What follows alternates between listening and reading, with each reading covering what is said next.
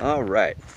So I want to do a review on this yurt because I looked around on YouTube like right when I bought this thing because I I just passed by it on Walmart for so long and it, it, it was just haunting my my mind. I needed to get it, so eventually it happened.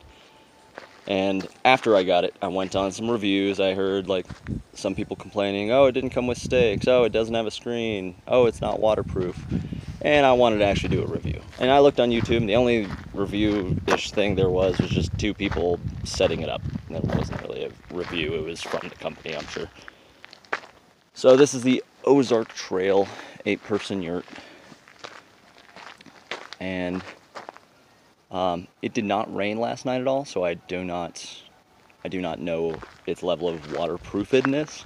I bought uh, plenty of silicone just to seal everything up, though, and I highly recommend people do the same for any tent. So, about this thing is, it's pretty much, it takes as long to set up as it takes to stake in 16 stakes. That's all it takes, basically. This yurt, basically, the mechanics of setting it up is just rolling it out, setting out all of the all of the main connecting stakes, going inside and um, setting up the pole that sticks it up with the table, and I'll get you guys in there to show you in a second about that.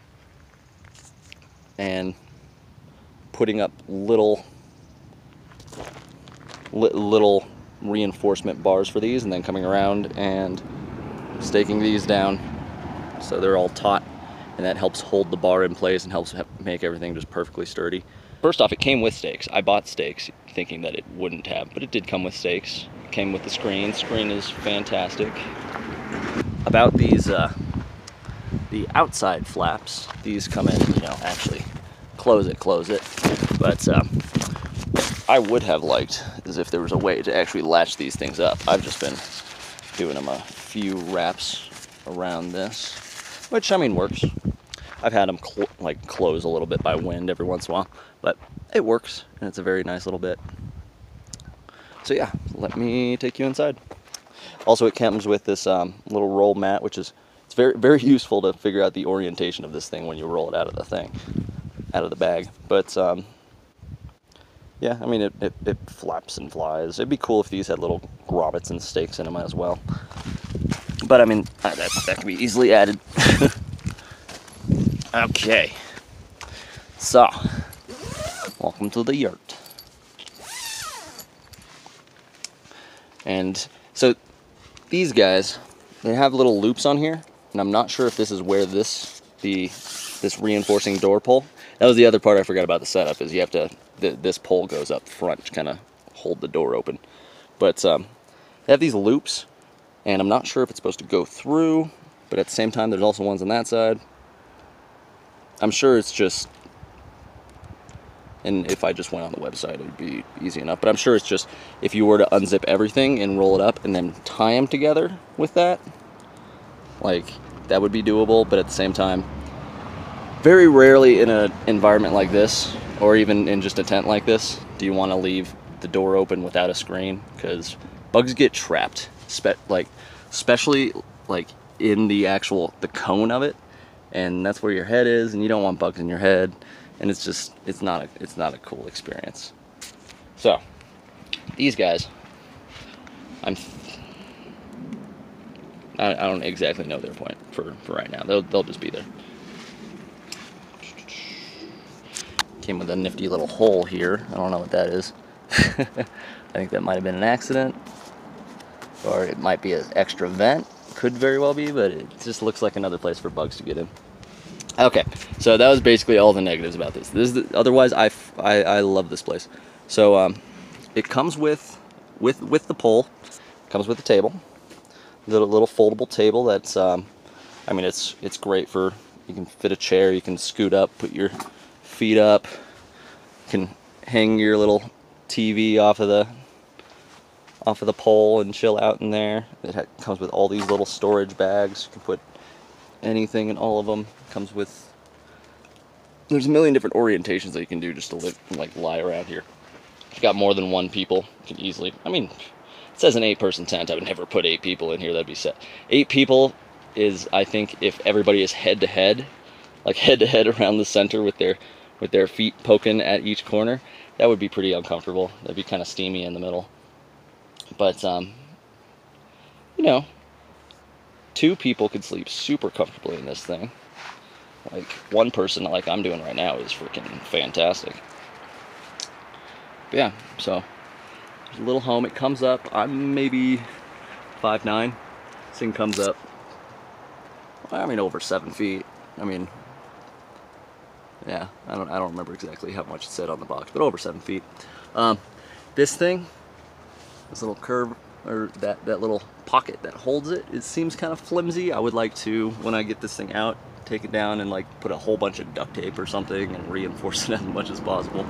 Um, the only problems that like I really have involved, like you know, in, in the setup process of trying to get this up there is a lot of scrapage going on here. I don't know exactly how durable these are. They seem really durable, but um, there is worry about that.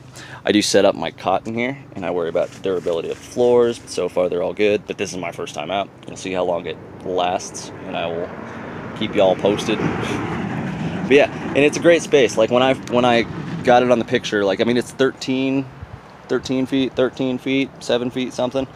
I wasn't expecting how much. Um, space I could walk around in. Like this is my head touching, like while still standing fully. And I got, I don't know. I should have recorded how how many steps that was, but that was a, that was a decent that was a decent little little parameter. It also has little vents up here that air can kind of funnel in. Uh, the wind that when it comes down at the bottom, it actually really does keep it pretty well um, you can control your temperature very well. Like when I was awake in the early hours and the late lates of the early hours in the morning and the lates of the night, it's easy to kind of like you know get this thing the temperature that you want it to be. And I mean, we'll see how it goes as it gets super hot.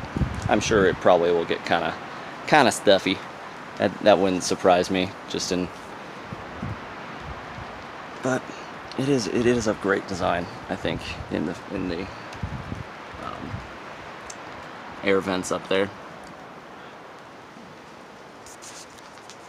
yeah so it's a little mat makes it a little more comfortable cot I was worried that the cot wouldn't fit or that I'd be too high up but it's perfect I'm actually like right up at that window so like I closed that just because I was it was it worked for last night. Last night I think I actually closed everything up at one point, and it was just it was perfect. I I slept amazingly.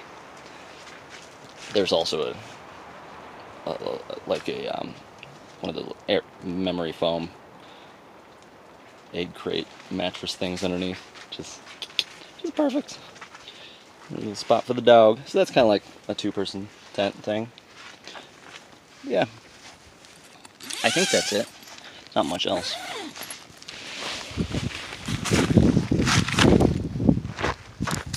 That is the Ozark Trail 8-person yurt. It's a little bit like a Mongolian hut so far has worked beautifully. We'll see how it works in long-term camping, but I would highly recommend it in any sort of like, if you're doing like a picnic or a concert or a festival, like that would, this thing is great. It'd be awesome be fantastic. It's it's basically just a room, your own little room, your own little yurt. It's not it doesn't even feel like a tent. All right, thank you for watching.